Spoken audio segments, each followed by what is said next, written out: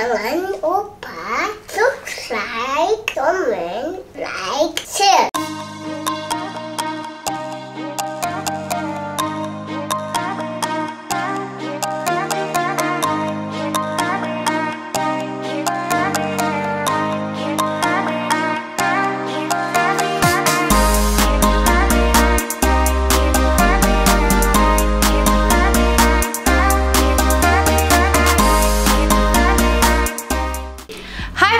welcome back to my channel. Buat kalian yang baru pertama kali mampir di channel ini Kenalin dulu nama aku Karissa Dan channel ini aku biasanya itu review produk, shopping haul, bagian tips lifestyles Dan ngadain giveaway untuk subscribers dan followers aku.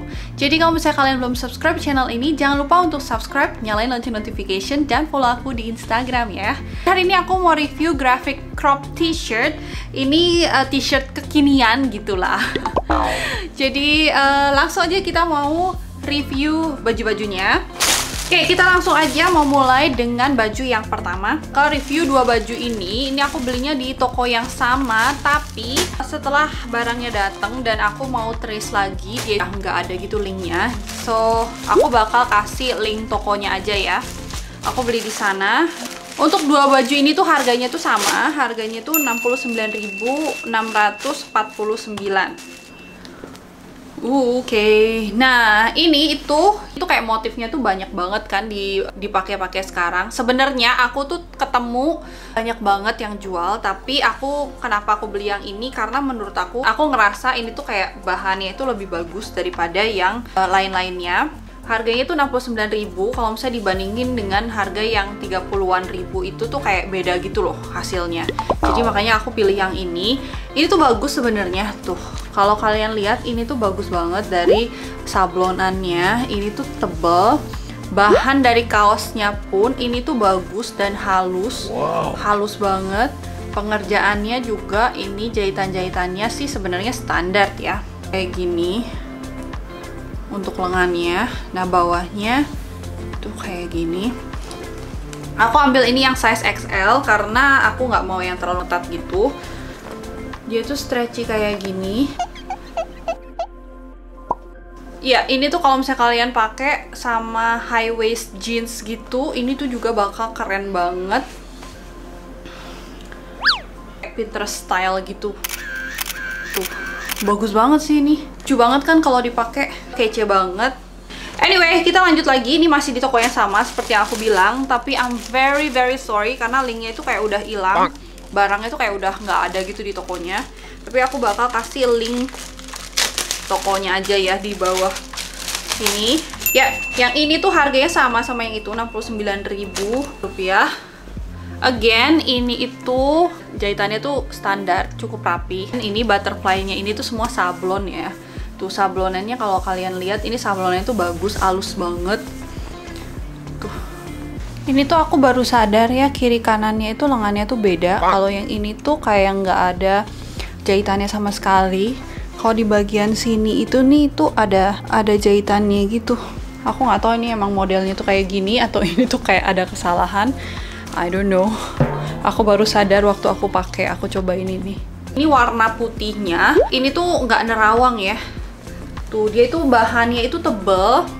Again, ini bahan kaosnya ini bagus banget, bahan premium dan sangat nyaman, gak gerah sama sekali. Ini tuh kayak bener-bener lembut banget. Pas dipakai ini tuh kayak bener-bener kece banget. Banget kalian tinggal foto buat OTD gitu, kayak tumbler style banget. Anyway, kita lanjut lagi ke baju yang ini. Nah, yang ini tuh aku belinya itu harganya Rp45.000. Oke, untuk yang ini bahan kaosnya itu uh, oke, okay, tapi memang gak setebal dan gak sehalus yang ini. Yang yang pertama itu lebih uh, lebih tebal dan lebih halus bahannya. Terus ini jahitan-jahitannya sih udah oke. Okay.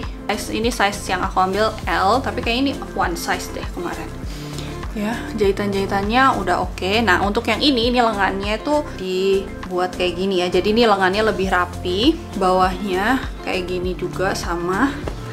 Nah yang ini aku ambil sablonannya itu yang ini. Aku tadi bilang yang tadi itu sablonannya halus. Kalau misalnya dibandingin ini tuh bedanya cuma 10.000 ya. Yang ini sama yang ini itu tuh beda gitu loh sablonannya. Yang ini sablonannya itu kelihatannya itu lebih kasar, sedangkan yang ini tuh kayak halus banget gitu. Tuh, jadi kayak stiker. Kalau yang ini dia itu lebih kayak kasar-kasar gitu loh.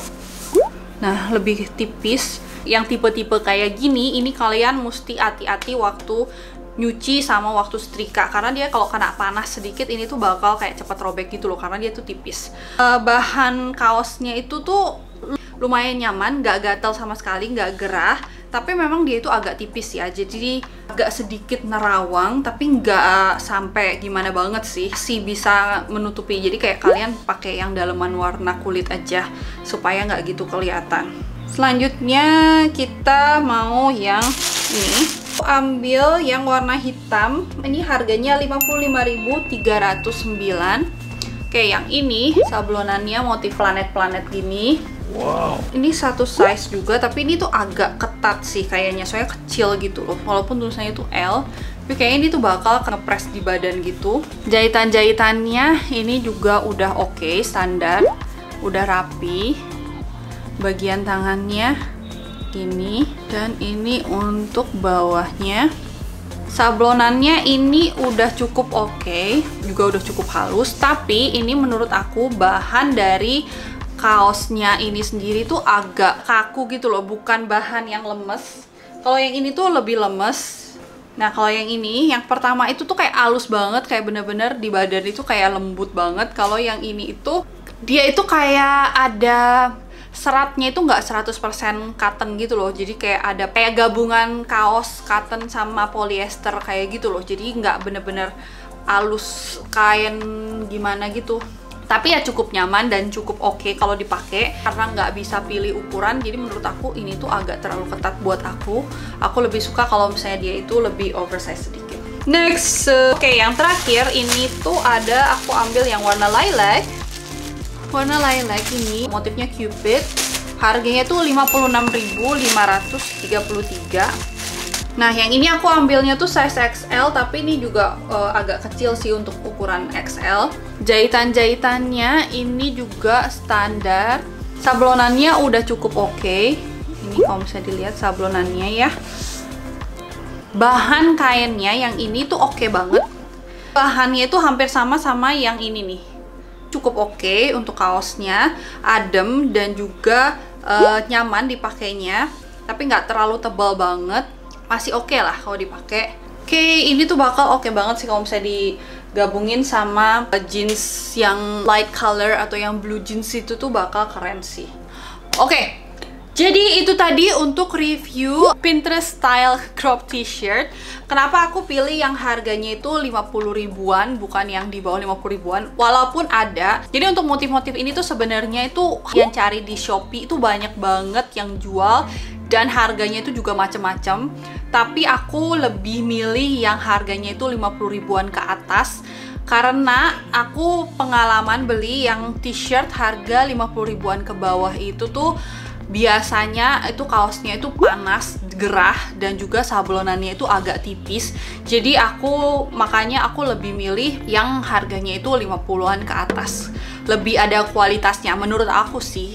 Jadi ya tergantung budget kalian gimana. Cuman aku sih lebih suggest kalau misalnya kalian mau cari baju atau ka kalian mau cari uh, items apa pun, mencari kualitas yang lebih bagus supaya aku bisa pakainya itu lebih lama daripada aku beli yang dengan budget yang sangat murah tapi itu tuh kayak cuman dipakai sekali dua kali terus rusak gitu loh. Jadi aku lebih mending hmm, agak mahalan sedikit. Si value yang kalian dapatkan itu tuh bisa lebih tinggi gitu loh. Jadi uh, jangan beli murah di awal tapi akhirnya tuh kalian tuh harus kayak beli terus-terusan gitu. Karena barang yang kalian pakai itu nggak bertahan cepat rusak dan segala macem. Jadi kan lebih baik kita beli yang kualitasnya tuh memang lebih oke okay, dengan harga yang lebih beda dikit lah 10 ribu 20 ribu lebih oke okay, dengan kualitasnya itu oke okay gitu loh. Menurut aku sih begitu value nya lebih lebih besar lah Nah, jadi itu tadi untuk review aku. Semoga kalian itu suka. Aku bakal kasih link-linknya semua itu di bawah. Kalian bisa langsung cek uh, toko-toko mereka. Kecuali yang uh, dua awal gitu ya. Karena aku nggak bisa cari linknya. Kayak linknya tuh barangnya tuh udah nggak ada lagi di tokonya gitu loh. Tapi aku bakal kasih uh, link tokonya di bawah. Kalau misalnya suatu waktu mungkin dia itu restock lagi atau apa. We don't know. So, yeah itu aja dan seperti biasa aku bakal aku mau bagiin 5 t-shirt yang udah aku uh, review hari ini itu untuk giveaway. Jadi kalau misalnya kalian mau ikutan giveaway ya jangan lupa untuk subscribe channel ini nyalain lonceng notification dan follow aku di instagram. Kalian punya waktu 24 jam untuk mengklaim hadiah kalian. Kalau misalnya lewat daripada itu nanti uh, aku anggap fail dan hadiahnya nggak bisa diklaim lagi nggak bisa diambil gitu Ya, jadi itu tadi. Uh, thank you for supporting this channel. Jangan lupa untuk like dan share video ini ke teman-teman kalian. Tungguin juga konten-konten dan video-video aku selanjutnya. Thank you so much for watching. I'll see you on my next video. Bye-bye. Thank you for watching. Bye-bye.